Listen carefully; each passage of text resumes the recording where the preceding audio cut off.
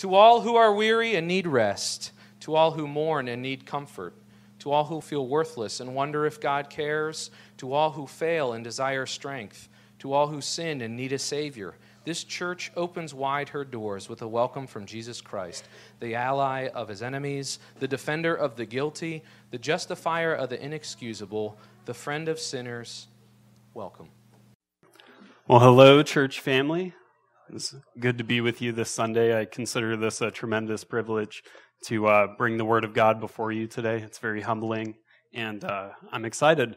So we're going to continue in First Peter.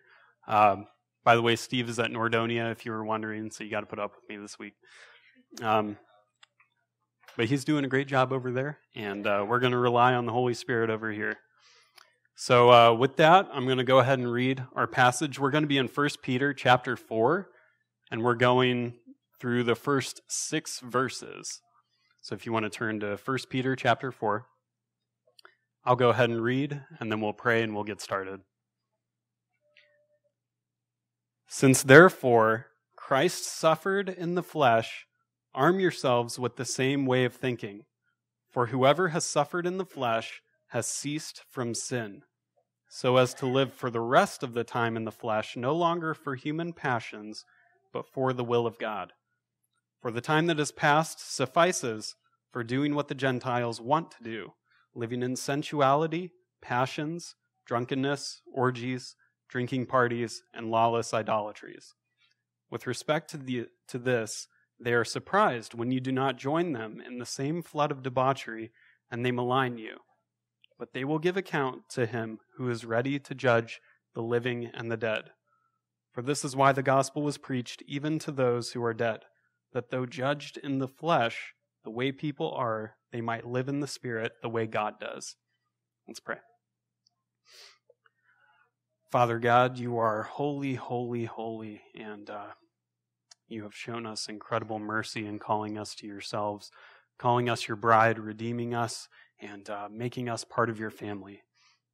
We thank you for that, and we thank you for your word and uh, your revelation to us that we know we know who you are, we know how you are, we know the things that please you and the things that don't, and uh, we can just step back and trust your word and trust that you are good and you are sovereign. So lead us today. Uh, everything that I say, may it be your words, not mine. And um, thank you for this time in Christ's name. Amen. All right, so a little bit of reminder of context where we're at. We're in First Peter, uh, and it's important to be reminded of who Peter is talking to. He is uh, in First Peter chapter 1, verse 1, it says, To the elect exiles who are of the dispersion in Pontus, Galatia, Cappadocia, Asia, and Bithynia. So he's writing to elect exiles. Those are, those are Christians in the world who have been dispersed in all these different areas of Asia Minor. And he calls them exiles because they are exiles in the world. When we are, when we are born again, this isn't our home. Our home is with Christ in heaven, and ultimately the new heavens and the new earth. And so, just as the Israelites went into exile in Babylon, God sent them into exile. They were in a place that was not their home. So we are. This is not our home. This is not our final, our final place.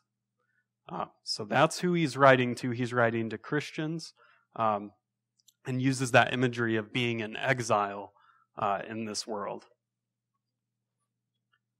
So, starting in verse 1, it says, Since therefore Christ suffered in the flesh, we got to stop right there.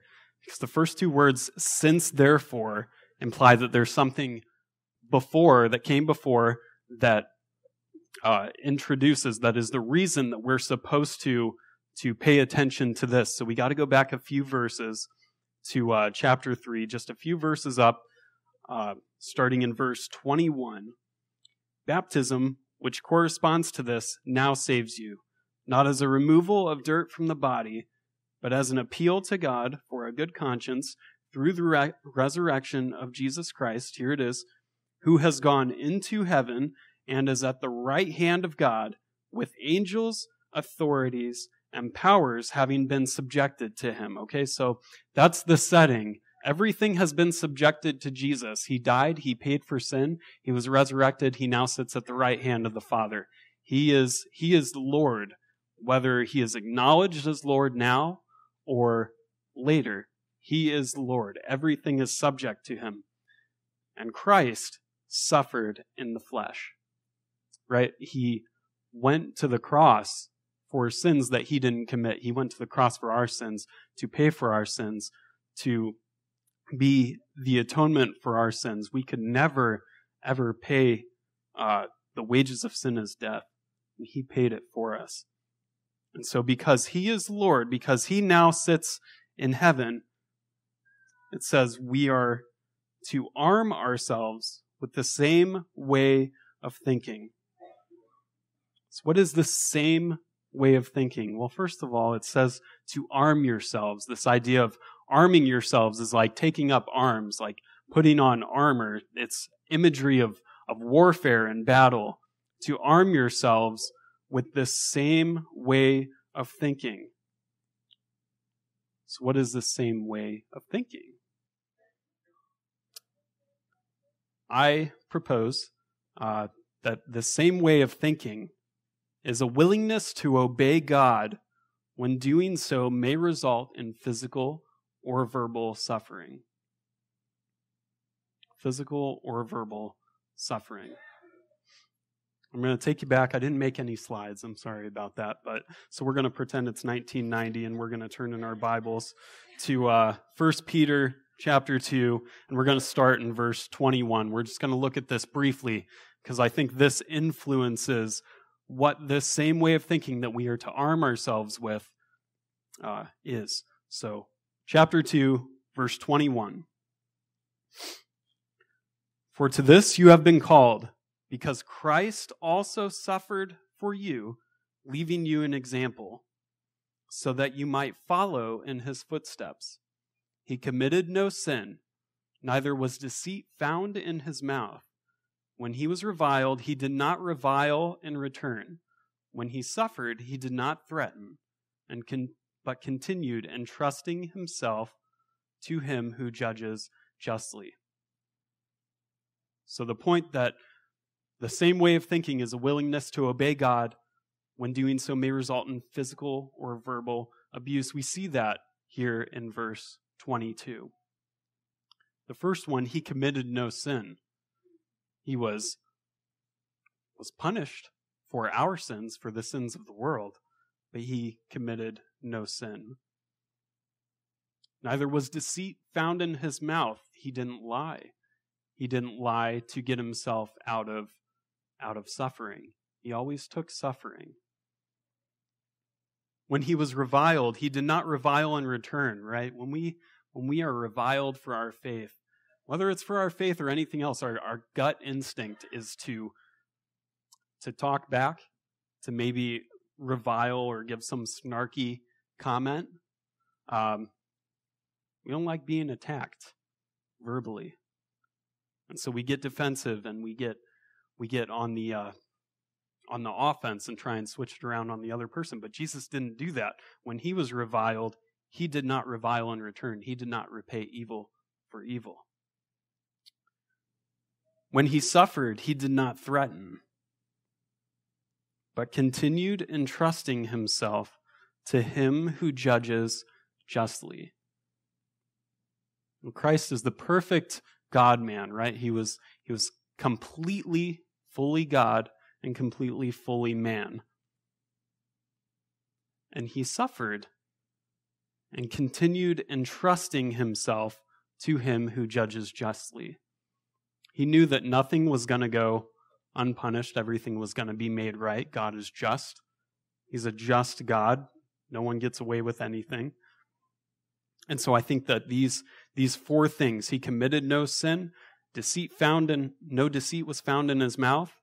He did not revile, he didn't take revenge. And he continued entrusting himself to him who judges justly. I think that is the the uh, the same way of thinking that we are to uh, arm ourselves with. We ought to be willing to suffer because, again, Jesus, who is Lord and everything has been subjected to him, this is what he did. We deserve we deserve everything that he went through and yet he took it for us. So if he's our example, we ought to be willing to suffer. But I think that also there's another aspect to the same way of thinking. That the same way of thinking is looking forward with joy to the glory to come. Find that in 1 Peter 1 3 to 4. If you want to turn to 1 Peter chapter 1, verses 3 and 4. Blessed be the God and Father of our Lord Jesus Christ. According to his great mercy, he has caused us to be born again to a living hope through the resurrection of Jesus Christ from the dead to an inheritance that is imperishable, undefiled, and unfading, kept in heaven for you. Right? So if we are to look forward with joy to the glory to come, we can keep our eyes focused on this, this living hope in verse, verse 3. He has caused us to be born again to a living hope.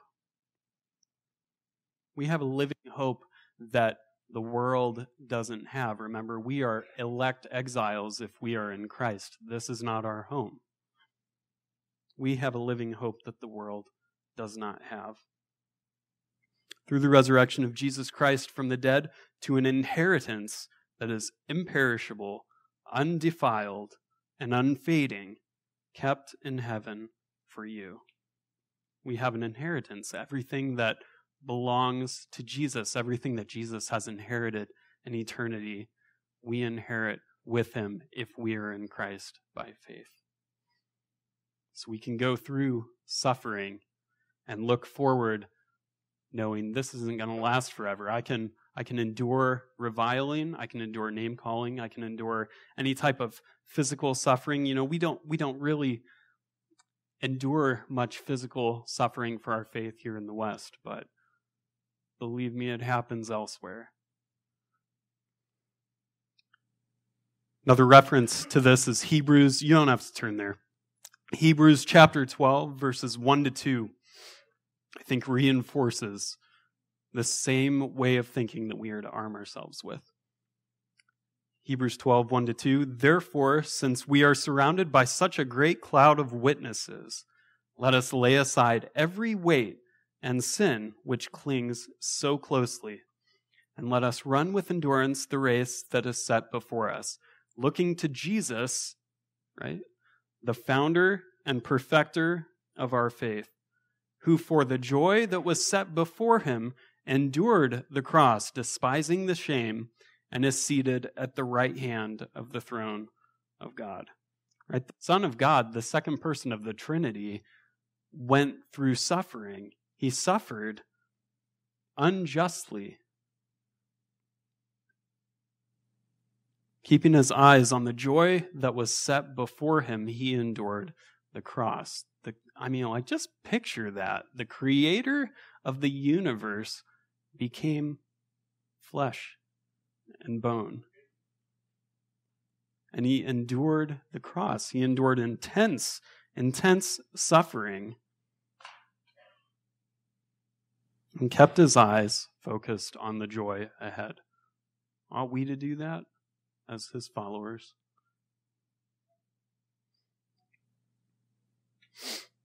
Moving on in the passage, second part of verse 1 For whoever has suffered in the flesh has ceased from sin. I'm going to be honest with you. This was a tricky one for me. Peter is not saying that Christians are perfect and do not still sin. I'm great evidence that that is true. Rather, he is saying, ah, I heard that. Rather, he is saying that Christians are not are no longer characterized by sin, sin patterns, or lifestyles. Remember, we are no longer, we weren't always in Christ. We used to be dead in sin. We used to be characterized by our sin, by our sin patterns, our sin lifestyles, whatever, whatever uh, the world, the world lives like.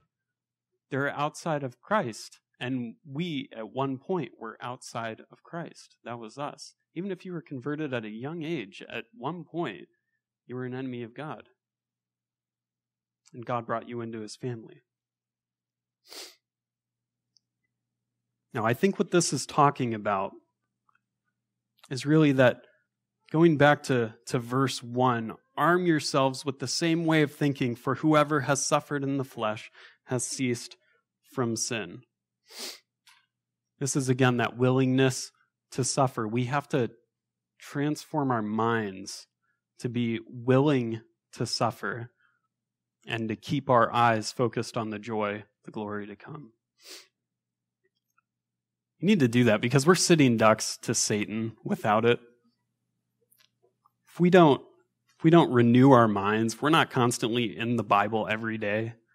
This is this is challenging for me. I'll I'll be honest. Um, I, I work a full time job. I'm in school full time, and uh, uh, the little bit of free time that I get, I I want to myself, and um, we we've got to be We've got to be armed. We've got to be armed with this way of thinking, or we, we will be taken down by Satan. That's when temptation can grow and sin can grow. We need to be transformed by the renewal of your mind. Remember, taking up arms, arm yourself. Arm yourself with this same way of thinking willingness to suffer, focused on the joy that is to come. Verse 2 so as to live for the rest of the time in the flesh, no longer for human passions, but for the will of God. No longer for human passions, but for the will of God. Now, human passions. Human passions can be a good thing, right? Our our passions can be um, can be God honoring. They can be things like uh, money. We can use money for God's glory. We can use money to build his kingdom. We can use money to bless others. Money is a good thing. It's not the root of all evil. The love of money is the root of all evil. That's greed. The world loves money. I gotta say, um, I was debating whether or not to use this illustration, but uh, Michaela and I have been watching this show I can't remember what it's called. It's something about flipping houses, and uh, but it but it's interesting. And um, so it's these groups of house flippers in Florida, and they go to auctions and they try and get the best deal, and they fix it up and try and make as big of a profit as they possibly can. And uh, we were watching last night, and uh, late late at night, and um, I, I, I just, I began to covet. I began to see these, these houses, this over 2,000 square feet homes, beautiful tile, big open area. And I began to covet. Money's not a bad thing. But when you love it, and it becomes more important to you than, than God or people. You can watch that show and you can see the the people on it just complaining about the stupidest things. This kitchen's ugly. This kitchen has to go. And I look at the old kitchen and I'm like, that's beautiful. I wish our kitchen was like that.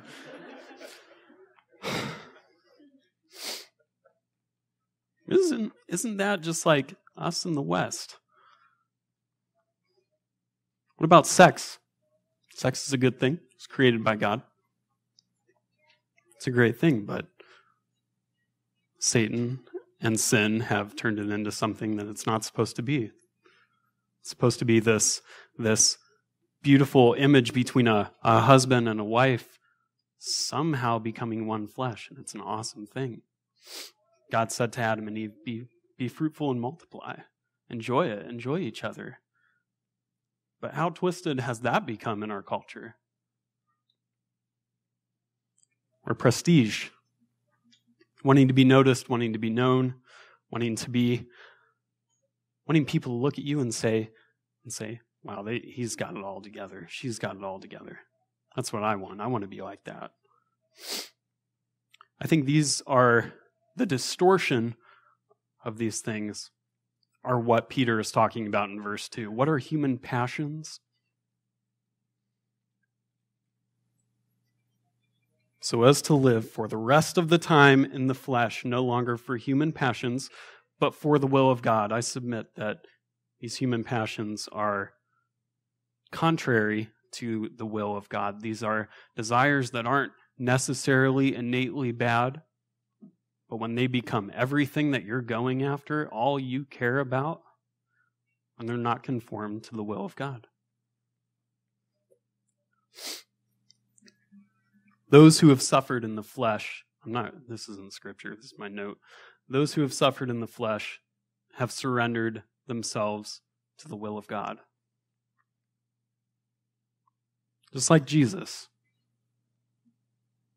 Just like Jesus on the cross, just like Jesus' life, reviled, mocked, beaten,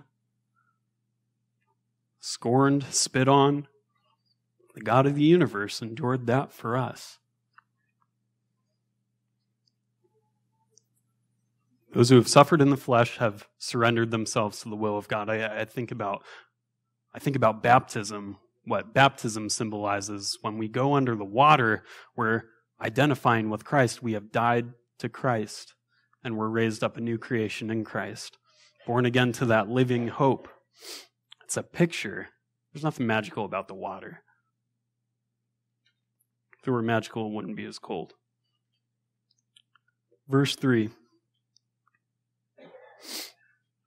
For the time that is past suffices for doing what the Gentiles want to do, living in sensuality passions, drunkenness, orgies, drinking parties, and lawless idolatry. The time that is past suffices. In other words, that's enough. That's enough. Living as a pagan and getting saved, that's enough. That's enough sin. That's enough living for the things that you used to want as an unbeliever. And nothing has fundamentally changed in culture. These are all things that are prevalent in America. This isn't this wasn't written immediately to an American audience, and yet it, it's like we're reading about Las Vegas. Nothing has fundamentally changed. What about it at work? I know I I I work a job, full-time job, and I'm surrounded by people who don't know Christ. And uh, what do you do when some joke that's degrading to women is going around and you're supposed to laugh? And if you don't, you don't have a sense of humor. It's just a joke. Or school. Kind of things do you hear in school with classmates? I didn't I didn't hear the greatest things in school.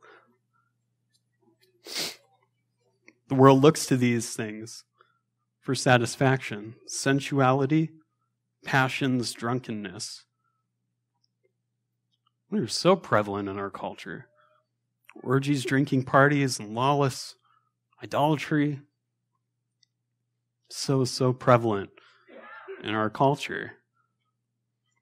But the time that has passed suffices. That's enough. You don't need to be doing that anymore. That's the old you. If you're born again to a living hope, remember your eyes are focused on Jesus and the life that is to come in eternity. That's enough. Don't live for those things anymore. Verse 4 With respect to this, they are surprised when you do not join them in the same flood of debauchery, and they malign you. They are surprised. That implies that there ought to be a very visible difference in your lifestyle and their lifestyle. I know a lot of people at my work know that I'm a Christian. But that but that's okay. You you can you can be a Christian. You can believe what you want to believe. But I mean, you're not going to live fundamentally different than me, are you?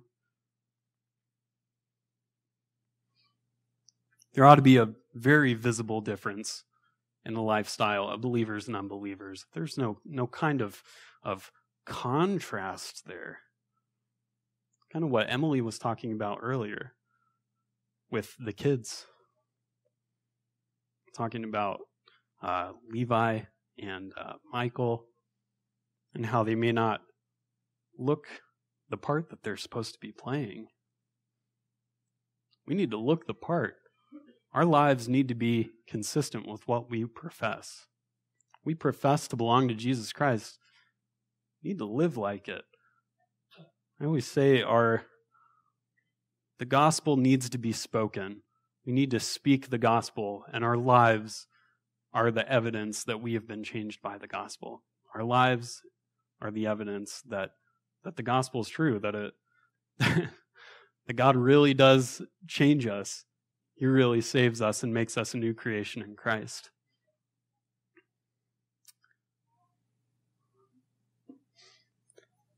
They are surprised when you do not join them in the same flood of debauchery, and they malign you. The word malign here, uh, it's translated in the NIV as heap abuse. It can also mean slander or to speak evil of. It's the uh, the Greek word blasphemeo. Sounds like blasphemy. It's where we get the word blasphemy. You don't participate in the things that you used to participate in. You used to be fun. You used to like going out and getting drunk. But now you're now you're prude. Now you're no fun. Now you're just holier than thou. And they'll malign you, just like they did with Jesus. They hurled insults to him on the cross. Matthew talks about that and actually uses the same word, blasphemeo. They slander, speak evil of Jesus.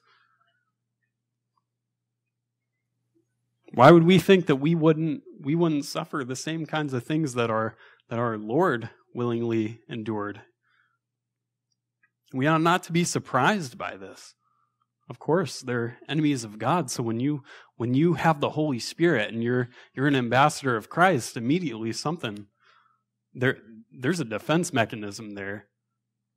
Believe what you want, but don't don't live like it. Because if you live like that, I'm going to be convicted and I'm going to I'm going to feel bad about my sin. John 15, 20 Jesus says, A servant is not greater than his master. If they persecuted me, they will also persecute you. Don't be surprised. Don't be surprised when the world maligns you and calls you horrible things and says things about you that are not true. Slander you, call you self righteous. Don't be surprised by it. It's going to happen. Verse 5 but they will give account to him, Jesus, who is ready to judge the living and the dead. They're going to stand before Christ. Christ is their judge, our Lord. Remember, everything has been subjected under his feet. Angels, authorities, and powers have been subjected to him. Every, he's Lord of all. Period. Whether you affirm that or not, he's Lord and he will judge. No one gets away with anything. If they repent, their sin has been dealt with on the cross. That's awesome. That's the gospel. On the cross of Christ, if they do not repent, they will experience the just wrath of God for their sin. We don't need to worry about, about justice not being dealt. Everything's going to be made right because God is a just God. That's every bit as part of his character as love. He's love, he's mercy, he's he's grace. Amazing grace. He's an amazing God, but he's also just. And he will make sure that everything is made right. Every sin will be either punished on the cross of Christ or in hell forever. That's a reality. And this ought to compel us to love, to love the world. And love shares the gospel. Going back to uh, 1 Peter 2, you don't have to turn there. 1 Peter 2 23. When he was reviled, he did not revile in return. When he suffered, he did not threaten, but continued entrusting himself to him who judges justly. Jesus is our example. John 3 16 through 18 is one of the most well known passages in the entire Bible. You don't have to turn there either. For God so loved the world that he gave his only Son, that whoever believes in him should not perish, but have eternal life. For God did not send his Son into the world to condemn the world, but in order that the world might be saved through him. Whoever believes in him is not condemned. But whoever does not believe is condemned already because he has not believed in the name of the only Son of God. And that last verse is. sorry about that. Uh, that last verse is a sobering verse. But whoever does not believe is condemned already because he has not believed in the name of the only Son of God. If these people who don't know Christ if this is their, their destiny, condemnation, remember they're already condemned. It says, is condemned already. But that condemnation is removed by Christ through faith in Him. This ought to move us to share the gospel. This ought to move us to tell people what the Bible says about, about us, humans, sinners, and God, who God is. God is holy. He punishes sin. He's love and he's just. I uh, I remember watching this video um, a while back. It's a Penn Jillette. It was probably four or five years ago. Penn Jillette is a uh, he's an atheist, very famous atheist, and uh, released a video on YouTube a few years ago um, about his his show in Las Vegas. A guy came up to him afterwards and gave him a Bible and just told him how much he enjoyed the show. He thought it was really cool and just gave him a Bible. And Penn Jillette says in this in this video, I guess it's a vlog, um, video blog, and um, and he says, "I know that there's no God." He makes that assertion. But then he goes on to say, But this guy that gave me this Bible, I'm paraphrasing, but he genuinely cared about me. Because if you believe that someone is either going to eternal hell or not inheriting eternal life, how much do you have to hate them to not tell them? And, he, and he's an atheist. and he and he has this better understanding of evangelism that I think a lot of Christians do and I'm preaching to myself too. I'm not. If we love people, we need to share the gospel. We need to tell them that we're not good. We're not good people. But Christ came for people who are not good. He came and he suffered in their place. If we repent, turn from our sins, and trust in him, trust in him as Savior, submit to him as Lord, we're forgiven. Our sins have been put on the cross. They've been paid for. There's no injustice. There's no injustice. Christ has paid for it. If the crime is paid for, then we get to go free. Verse 6. I lost my spot. Verse 6 for this is why the gospel was preached even to those who are dead, that though judged in the flesh the way people are, they might live in the spirit the way God does. So, who is the gospel preached to? Well, according to this verse, it says the gospel was preached even to those who are dead. I think this is talking about Christians who have passed away. They are judged in the flesh the way people are. That's we still experience physical death. That they might live in the spirit the way God does. And again, this is going back to to uh, setting our minds the same way of thinking in verse 1 Since therefore Christ suffered in the flesh, arm yourselves with the same way of thinking. Willingness to obey God when doing so may result in physical or verbal abuse. And looking forward with joy to the glory to come. We know that God has the final say. We don't have the final say. Those committing injustice don't have the final say. Our Lord Jesus Christ has the final say. Everything's been subjected to him. So we can endure suffering, we can endure ridicule, and we know that it's going to be made right. No one gets away with anything. That's comforting. I don't know about you, but that's really comforting for me. I, I don't watch the news. I, I get my news from Facebook. I shouldn't, but I do. And you see injustice. You see injustice everywhere, and, and it's comforting to know that God is sovereign and in control of all of it, and no one gets away with anything. So, just a few points of application. You don't have to write these down. Since Christ suffered, be willing to suffer. You're going to suffer. No servant is greater than his master. He suffered far worse than any of us ever could. Application number two endure suffering by looking forward to the fulfillment of God's promises and eternity.